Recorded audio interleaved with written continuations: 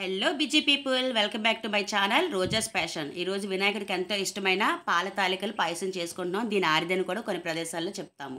దీనికి ముందుగా కావలసిన ingredients one cup of sugar ఒక పది పదిహేను కాజు ఒక కప్పు కోకోనట్ పీసెస్ ఒక స్పూన్ ఇలాచీ పౌడర్ పచ్చి శనగపప్పు నానబెట్టింది. దీని ప్లేస్లో పెసరపప్పు కూడా తీసుకోవచ్చు. గీ మనకి కావాల్సినంత బెల్లం ఒక కప్పు. పాలు హాఫ్ లీటర్ తీసుకున్నాను. బియ్యం వన్ అండ్ హాఫ్ కప్ తీసుకొని బాగా కడిగి టూ అవర్స్ నానబెట్టాను.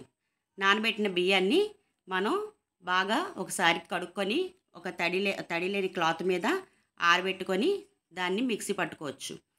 ఎక్కువ బియ్యం ఉన్నప్పుడు బయట మరపట్టించుకుంటే మంచిది. తక్కువ బియ్యం ఉన్నటప్పుడు మనం చేసేసుకోవచ్చు ఇంట్లోనే ఈజీగా. మనం బాగా జల్లించుకొని సాఫ్ట్గా తెచ్చుకోవాలండి. దానితోనే మనం ఇప్పుడు తాలికలు రెడీ చేసుకుంటాం. చిన్నప్పుడు వినాయక చవితి వచ్చిందంటే అబ్బబ్బా ఇంకా చెప్పక్కర్లేదండి. ఎంత సంతోషంగా ఉండేదో వాత ఇంట్లో ఉన్న వాతావరణం అంతా మారిపోయేదండి.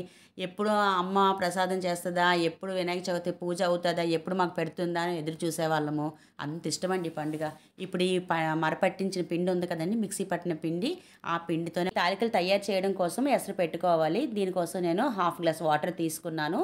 హాఫ్ గ్లాస్ వాటర్లోని కొద్దిగా బెల్లం వేస్తున్నాను అనమాట తాలికలు అనేవి బెల్లం వేయడం వల్ల మరింత టేస్ట్ పెరుగుతుంది. లేదంటే కొద్దిగా టేస్ట్లెస్గా ఉంటుందన్నమాట. కొద్దిగా చప్పచప్పగా ఉండొచ్చు. అందుకనే నేను బెల్లం యాడ్ చేశాను.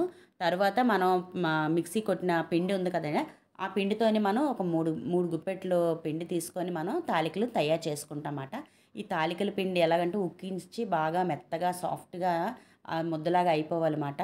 ఆ ముద్దలాగా అయిపోయిన దానితోనే మనం తాలికల్ని ప్రిపేర్ చేసుకుంటాము. ఈ దీనికోసము మనం పక్క తాలికల ముద్ద పక్కన పెట్టుకొని పాలు బాయిల్ అయిన పాలు ఉన్నాయి కదండి మిల్క్ ఆ మిల్క్ మనం half glass water half glass milk తీసుకుంటాము. వాటర్ తీసుకున్న వీడియో స్కిప్ అయిందండి. సారీ అండి. అది కూడా మీరు యాడ్ చేసుకోవాలి. ఉత్తి మిల్క్తోనే చేస్తే ఏమవుతుందంటే తొందరగా చిక్కబడిపోతుంది. మనకి సరిగ్గా కుదరదన్నమాట. అందువల్ల నేను పాలతోని నీళ్ళతోని కలిపే నేను తాలికలకి ఎసరు పెట్టుకుంటున్నాను. దీంట్లోని ఎసరు మరిగిన తర్వాత అంటే పొంగు వస్తుంది కదా దానిలోనే తాలికలు అనేది వేసుకోవాలన్నమాట. ఈ తాలికలను ఎక్కువ కలపకూడదు కలిపితే విరిగిపోతాయి. తర్వాత పక్కన గిన్నెలోని గిన్నె పెట్టుకొని ఒక కప్పు బెల్లం ఒక కప్పు షుగర్ కూడా వేసుకొని నేను కొద్దిగా కరగబెడుతున్నాను. డైరెక్ట్గా బెల్లం వేస్తే పాలు విరిగిపోయే ఛాన్సెస్ ఉన్నాయన్నమాట. అందుకనే నేను బెల్లం బెల్లము పంచదారని వేరేగా కరగబెడుతున్నాను. తర్వాత తాలికలు ఉడికేయా లేదా చూడాలి. ఉడికిన తర్వాత తాలి తాలికలో చనప పచ్చనప వేసాం కదండి. అది ఉడికిన తర్వాత ఒక రెండు స్పూన్లు వరిపిండి తీసుకొని దానిలోని కొద్ది వాటర్ యాడ్ చేసి కలు కలుపుకోవాలన్నమాట. అది దోశల పిండిలాగా ఉండాలి. అది కూడా అందులోని యాడ్ చేయాలి. మిశ్రమం అంతా కూడా చెక్కబడే వరకు కలుపుకోవాలి. తర్వాత తాలింపు గిన్నె తీసుకొని కొద్దిగా నెయ్యి వేసుకొని దానిలోని కోకోనట్ పీసెస్ వేసుకొని ఫ్రై చేసి తర్వాతగా కాజు కూడా ఫ్రై చేసి ఆరిదిలోని కలిపేసుకోవాలి.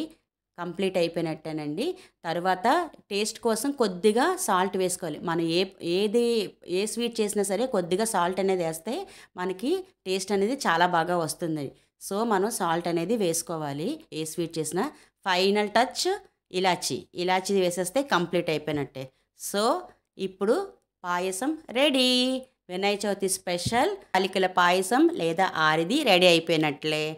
Please subscribe my channel. Thanks for watching my channel. Roja's passion bye this is signing off Roja.